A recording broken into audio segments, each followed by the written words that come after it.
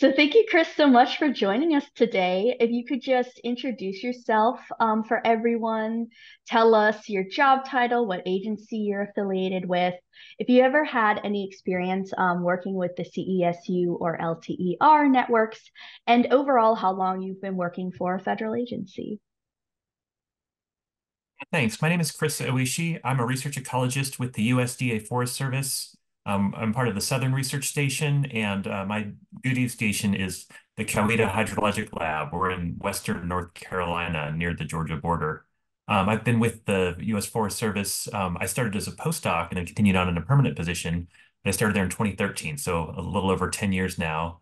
Um, and I, uh, during that time from 2013 up through 2020, Coweeta was um, one of the it was part of the LTER network. So I started off there working with a number of collaborators and, and being a co-PI for on uh, on that project for um, several years.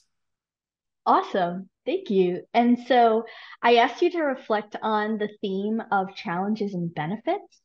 And thus far, um, what is some of the most stressful aspects of your job?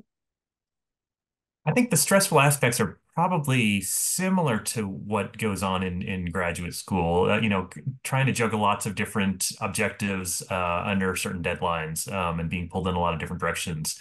I don't think it's quite as stressful as, as grad school. It's much less stressful in grad school, and but there seem to be more uh, more things thrown at you. Um, so you know, trying to get grant proposals in on time while also dealing with other other requirements and, and new things will pop up all the time. So that um, adds to some stressful challenges, but um, keeps for a dynamic work environment.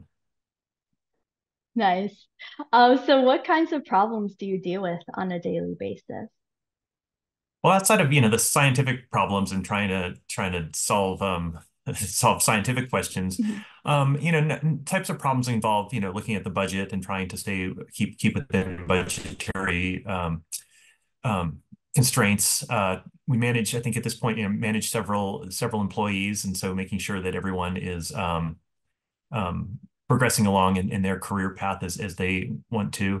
Um, and I think also, you know, kind of just trying to to continue to um, not only do the science, but do a lot more work with um, communicating the science to a variety of stakeholders, from tour groups that come through um, to uh, passing along information up to um, through the station to be communicated to the the agency heads and into Washington D.C.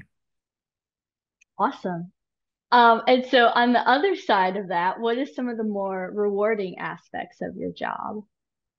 Well, I mean, the, the the biggest reward is it, you know is is probably why most people get into the sciences in the first place. It's it's really exciting because you get to you know try to answer these interesting scientific questions um, and hopefully ones that are benefiting society. You know, addressing real world challenges like climate change and um, how basically ecosystems are going to adapt to future conditions. And so helping to try to be a part of the solution to that um, is is really fairly rewarding. And uh, um, you know, having um, a fair amount of autonomy to basically to address those and, and think about how how you want to, you know, what what what the relevant questions are, how to tackle them, and how to answer them. So that's always exciting, and the problem solving part of that is is fun. So when reflecting on the different challenges and benefits you have experienced, um, in your position, what is one piece of advice that you would have given yourself from the beginning of your career journey?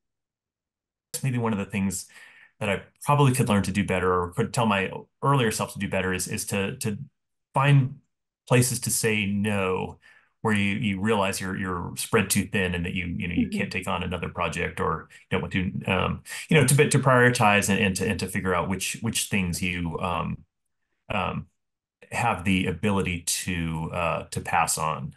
And so, well, thank you so much, Chris, for doing this interview with us. And we are looking forward to hearing more from you at the career panel. Thanks so much for the opportunity. Looking forward to it. Thank you.